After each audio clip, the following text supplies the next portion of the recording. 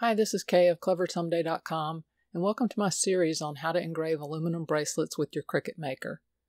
If you've already tried to engrave bracelets or other small items, you know that it can be really hard to get the engraving aligned on the item where you want it. So tackling that problem is going to be the topic for part one of this series. The usual methods involve guesswork and eyeballing and are inherently inaccurate as they can't take mat loading differences into account. They work okay for larger, regular shaped blanks or with forgiving designs, but on smaller or irregular shapes or where you want things perfectly centered, we need a better solution. As I realized a couple years ago when working on my flat embossing technique, there is a better solution using technology that already comes built into your Cricut for print then cut.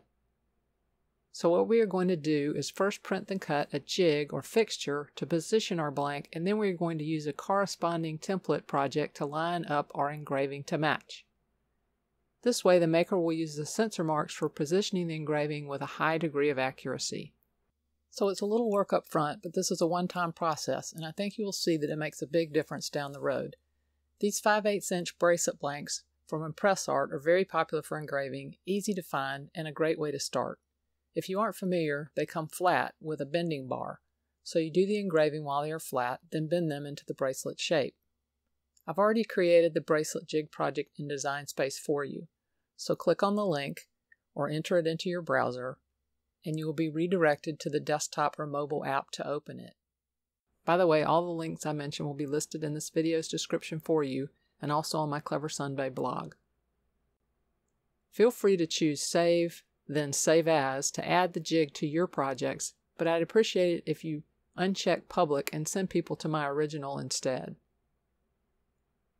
The jig is all ready to go, so click Make It and follow the prompts to print on white matte finish cardstock.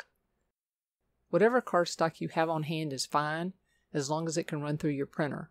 The heavier the better, though, for holding the blank and for durability, since it's reusable.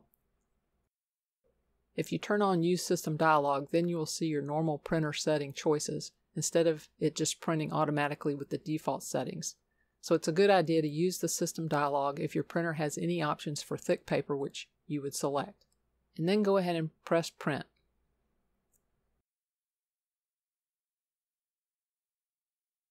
Place the printout on your mat and continue with the prompts. Choose your material setting based on the cardstock you are using so heavy cardstock or medium cardstock, for example. I have a custom setting for my Recollections 110 pound cardstock favorited, so I'm choosing that. Load any color pen into the accessory clamp. Load the fine point blade into the blade clamp.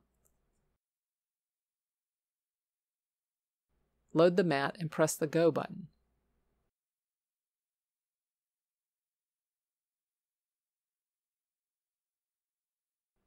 After the maker detects the sensor mark, it will draw a rectangle and then cut out the bracelet slot.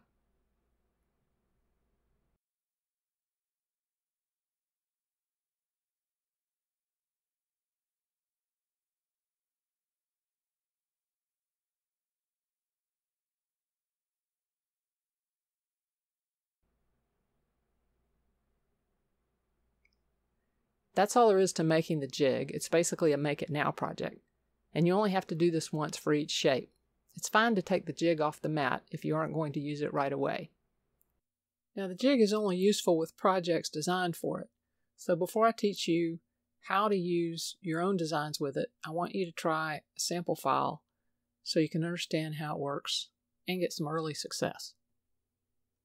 Just like we did with the jig project, we're going to open the link to the Breathe Bracelet project, which has been designed specifically to work with our jig. It is also ready to go, so we click Make It. When we get to the preview screen, you will see it says Print, Engrave, Cut. We are only going to engrave, but that's still what it needs to be showing when you use this method. You should also see the sensor mark in the preview, along with the breathe design centered on the bracelet shape. Now let's go back and load up the physical mat. Put the jig on the mat as you normally would position an item for print then cut, lined up with the upper left corner.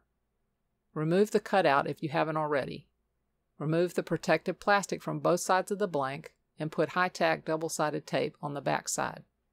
If you have a new or very sticky mat, you might not even need the double-sided tape. Peel the backing off the tape and place the blank in the opening face up.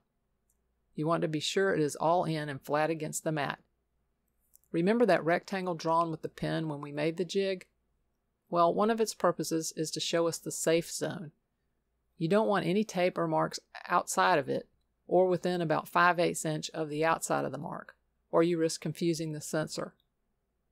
Another purpose for the jig is to protect your mat from the engraving dust. So it's a good idea to stick a piece of tape over the thumb slot too. Back at the computer we click Continue, then click I've already printed.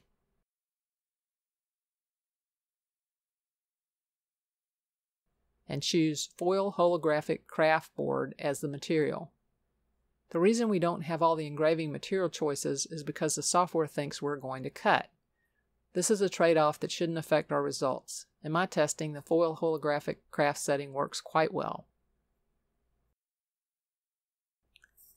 Get your quick swap housing, put the tip labeled 41 on it, and lock that into the B-clamp.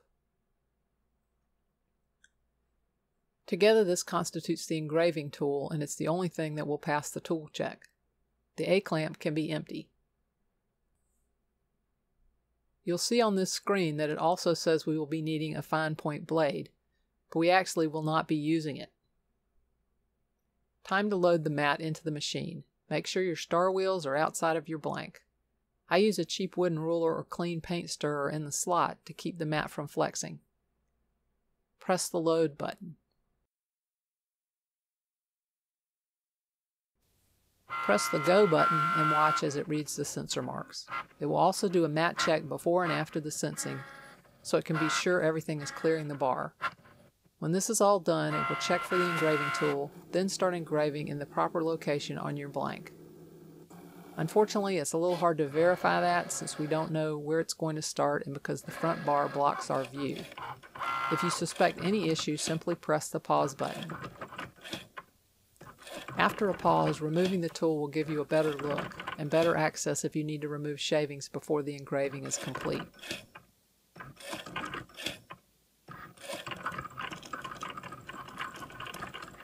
I should warn you that engraving with the Cricut takes a long time. This design, which already includes several passes, will take you a good couple of hours.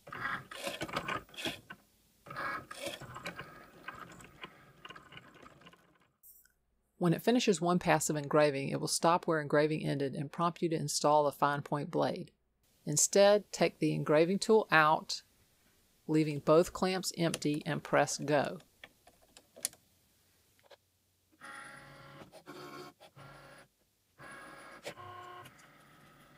The maker will air cut the perimeter and then stop at the top of the mat so you can inspect your engraving in the open.